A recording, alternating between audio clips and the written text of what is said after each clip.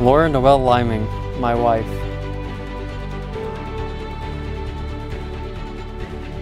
Lucas and Lauren. Marriage is the promise between two people who love each other.